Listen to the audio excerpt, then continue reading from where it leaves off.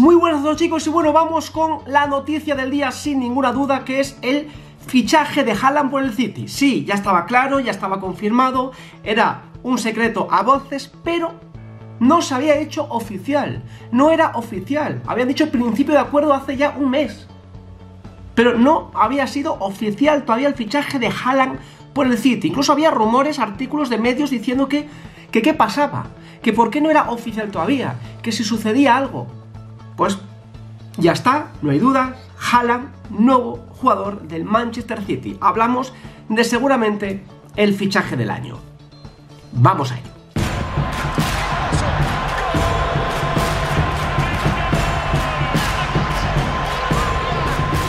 Bien, como decía, vamos rápidamente con este vídeo para, bueno, ver las primeras imágenes de Haaland ya con el City, donde ha hablado y dice, nací en Inglaterra, así que he sido fan del City toda mi vida y conozco mucho al club por mi padre. Hay que recordar que su padre jugó en el City. Y además lo han hecho oficial hoy porque justo hoy, hace no sé cuántos años, el City fichaba al padre de Haaland. Y tampoco es casualidad que justo hoy lo anuncien. Y dice que es fan del City desde que era muy muy pequeño y que también eso influye. Me siento un poco en casa aquí, he ido a muchos partidos de el City y puedo desarrollar y sacar lo mejor de mí al estar aquí. Estoy en el sitio ideal. Las palabras de Haaland sobre su nuevo equipo, donde eh, hay una cosa que está muy clara, yo creo que va a la mejor liga del mundo, a una liga con muchos espacios, donde él yo creo que va a brillar, donde muy mal se tiene que dar para que Haaland en la Premier no marque una cantidad de goles indecentes y donde muy mal se tiene que dar en un equipo como el City. Un equipo que juega tanto, que siempre domina, que genera tantas ocasiones de gol y que le van a dar muchísimos balones. Y al final es lo que le faltaba a el City, un gran delantero. El City en estos últimos años le ha faltado un rematador, un gran delantero y que Guardiola ha intentado ficharlo por todos los medios. Harry Kane lo intentó fichar más de un año, más de dos, no fue capaz y ahora por fin tiene a el delantero que él quería, a un delantero top mundial. Y es Haaland, más Julián Álvarez. Es decir, el City este año ya tiene una delantera soñada, una delantera espectacular. Y como digo, estamos hablando sin ninguna duda del fichaje del año. Tras el no de Mbappé al Real Madrid, el fichaje es este. Haaland. Que muchos dicen, no, pagaron solamente esa cláusula de 60 millones... A ver, oficialmente puede ser que pagasen esa cláusula, sí. Luego, entre comisiones, salario, etcétera, es una operación que estoy seguro y según todas las fuentes superan los 200 millones de euros. Es una operación muy cara. Que nadie piense que Haaland le ha salido solamente por 60 o por 70 millones a el City. Esto no se lo cree nadie. Esto no se lo cree nadie. Sale mucho más caro. ¿Que es un jugadorazo? Sí. ¿Que creo que el City acierta de pleno? Sin ninguna duda.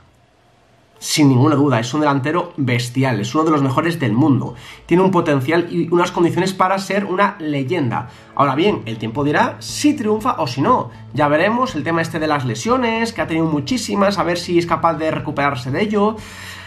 Eh, todo lo profesional que él sí que quiera ser. Vamos a ver qué pasa. Yo creo que vamos, muy mal se tiene que dar, en mi opinión para que Haaland no lo haga muy bien. Porque es que la Premier es perfecta para él. Es una liga perfecta para él. Y el City es un club perfecto para él. Muy mal, muy mal se tiene que dar para que Haaland no marque muchísimos goles. Y cuidado con el City porque da miedo. El City, por mucho que la gente diga, no, sí, pero ¿qué pasa con la Champions? Han llegado a una final en los, en los, en los últimos años. Es así. Y es un equipo que en los últimos años ha ganado la Premier más que nadie. La mejor liga del mundo. Es un club que compite muy bien. Lo que pasa es que la Champions es mucha Champions. Y no es tan fácil. Pero creo que no hay ninguna duda de que el City en los últimos años es uno de los mejores equipos del mundo. Por manera de jugar y por equipazo que tienen. Ahora con Haaland es mucho más. Es mucho más. Es decir, yo no tengo ninguna duda de que es un fichajazo, no tengo ninguna duda de que el City va a ser uno de los equipos a batir y que por supuesto la exigencia será mucho mayor. Si al City en general ya se le exige ganar la Champions, ahora mucho más. Porque tienen a Haaland, no es un fichaje así cualquiera, no, es que ficharon a un delantero muy bueno. Es uno de los mejores, Haaland. Por lo cual, no digo que estén obligados, porque ningún club del mundo tiene que estar obligado a ganar un título como la Champions, pero sí que están... Mmm, bueno, no obligados a ganarla, pero sí obligados a competirla muy bien y a no hacer el ridículo. Esto está clarísimo. Que luego, repito, puede pasar 80.000 cosas, desde que se lesione, a que no esté bien, a que tenga un comportamiento que no guste al entrenador. A ver, pero vamos. Fichaje de una envergadura impresionante, apuesta muy fuerte de el City al pagar esta cantidad por él, entre comisiones, el salario, etcétera Dicen que tiene una cláusula de escape. Hablan de 150 millones en dos años. Ahí ya se especula que Haaland quizás ha ido al City simplemente para cumplir también con su padre y tal, pero que él en realidad quiere seguir jugando en la Liga Española. Que esto lo ha dicho él. Esto lo se ha repetido muchísimas veces y por eso hablan que en dos años tiene una cláusula de escape de 150 millones.